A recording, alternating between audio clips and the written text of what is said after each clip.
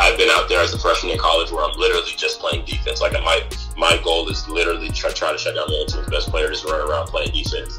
You know, in my second year, I was a little bit more featured, but I was still just you know kind of a role player on the team. And then into my third and fourth year, my, So um, I definitely do think it's valuable that I have experience in a lot of different roles, and I'm okay with you know not being the featured guy on the team. I just want to help the team win in different ways. So I definitely think that that's an advantage that I have transitioning to the next level for sure.